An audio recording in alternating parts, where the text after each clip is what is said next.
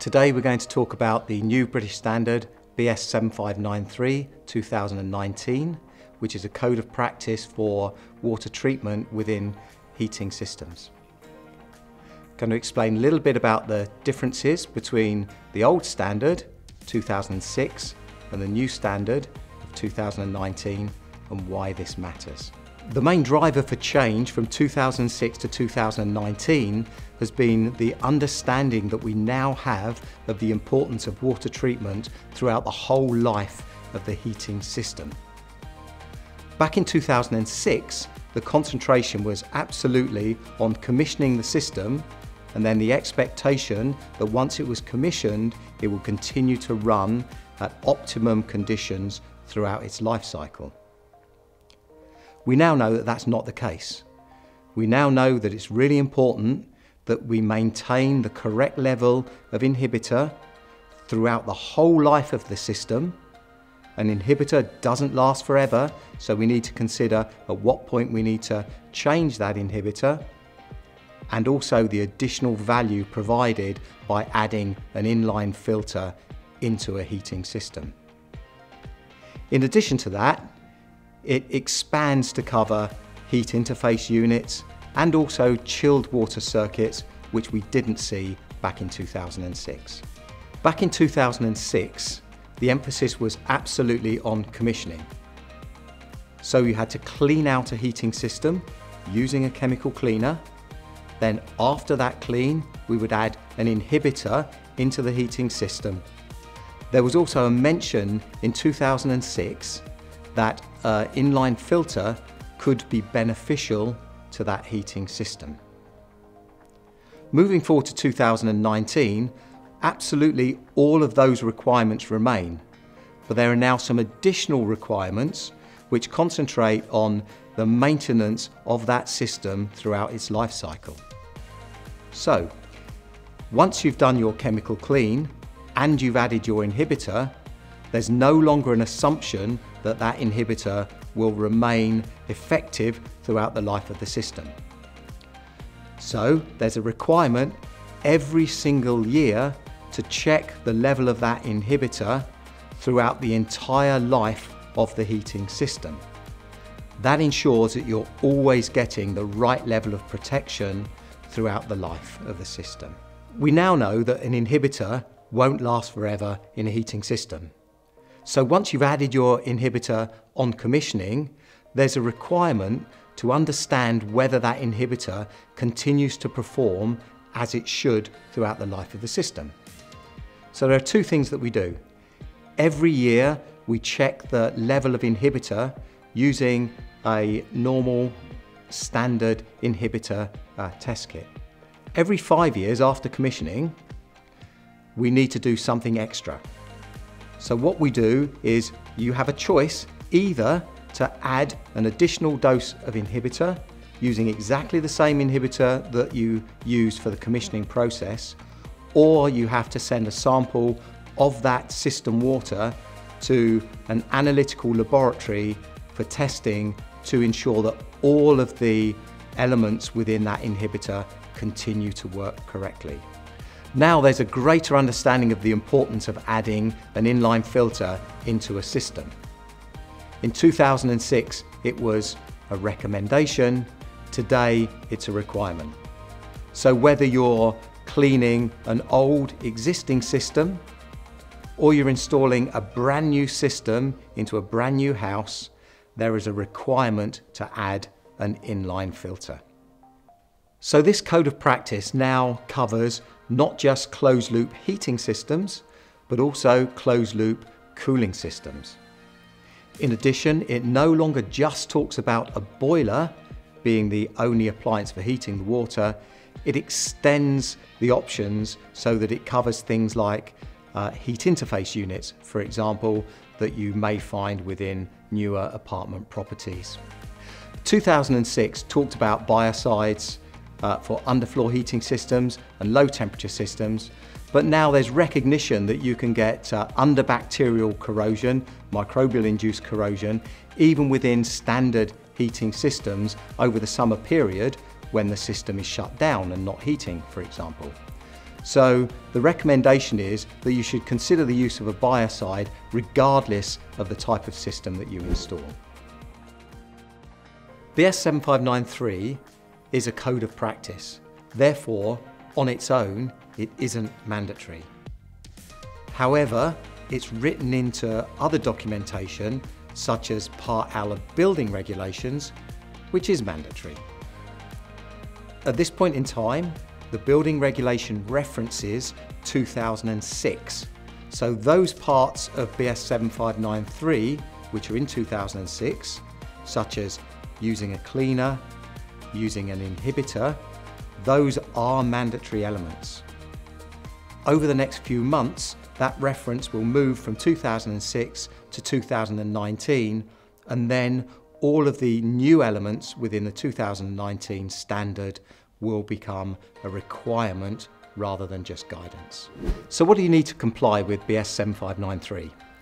You simply need to follow a six-step best practice approach to water treatment. So step one, add a cleaner. Allow it to circulate so that it lifts up all of the debris within the heating system. Step two, flush that dirty water out. You can do that using a product such as the MagnaCleanse. Step three, make sure you've got an inline filter fitted and this is a good time to clean it out and maintain it. Step four, add your inhibitor and allow it to circulate. Step five, test that inhibitor level using a standard inhibitor test kit. And finally, step six, you need to maintain the system. You do that with an annual inhibitor test and also every five years, either a full laboratory test or a redose of the inhibitor. The requirement to add an inline filter, regardless of system age, is a new requirement within BS 7593 2019. On its own, BS 7593 is a code of practice, it's guidance. However, BS 7593 is written into Part L of the building regulations, which is a legislative requirement. Once Part L is edited to include the reference to the 2019 edition of BS 7593, then it will become a requirement. The 2006 edition only covered closed-loop heating systems. This has now been extended to not only cover closed-loop heating systems, but also to cover closed-loop chilling systems, and in addition to that, the secondary side of district heating systems, so from the point where the heat comes into the apartment. It covers all domestic installations, whether they're new build or whether it's recommissioning of an existing heating system or any major remedial work that requires the drain down of a heating system. Under this new revision of the standard, there's a requirement to test the system water throughout the life of the heating system. You start this at commissioning. You test the water to make sure that the water is now clean and that you've added adequate levels of inhibitor. Every year, at the same time that you would do your annual boiler check, you now need to do an annual system water check. Again, this is just to make sure that the water remains clear and that you have an adequate level of inhibitor. Every fifth year, you're required to either undertake a full system water analysis by sending it off to an external laboratory or if you don't want to do that, you can simply add an additional full dose of inhibitor. The system water test is to make sure that the system is clean, the cleaner has been adequately removed, and that you have sufficient inhibitor within the system to cover the volume of the system. The system water test is to make sure that the system is clean, the cleaner has been adequately removed, and that you have sufficient inhibitor within the system to cover the volume of the system. The annual system check uses just a very quick test on the inhibitor level using a standard inhibitor test kit. Now what that does is it just looks at typically one element within the inhibitor. It uses that as a surrogate to assume that the rest of the inhibitor is working correctly. But we now know that an inhibitor won't last for the life of the system. There are components within that inhibitor that can be used up as part of the inhibition process. So every five years, there's a requirement to make sure that everything within the inhibitor is working correctly. So you either do a full analysis of that inhibitor or you cover yourself by adding an additional full dose of inhibitor. BS 7593 is a code of practice. Therefore, on its own, it isn't mandatory. However, it's written into other documentation, such as Part L of building regulations, which is mandatory. At this point in time, the building regulation references 2006. So those parts of BS 7593, which are in 2006, such as using a cleaner, using an inhibitor, those are mandatory elements.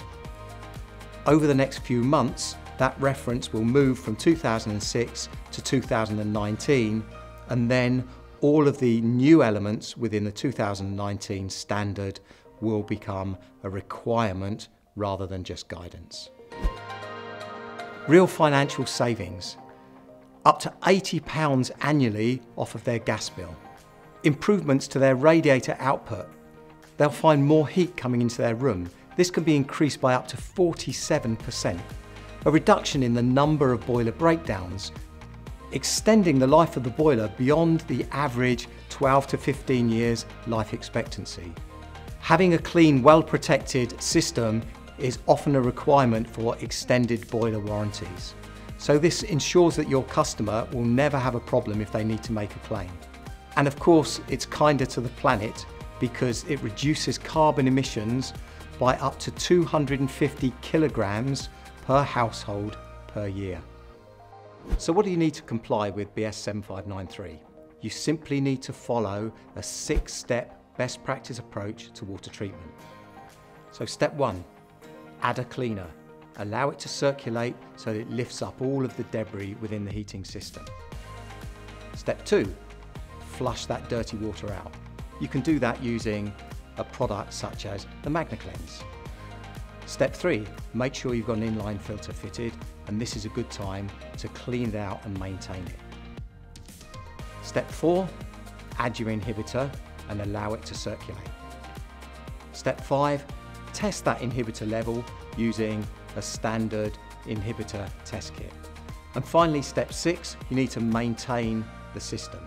You do that with an annual inhibitor test and also every five years, either a full laboratory test or a redose of the inhibitor.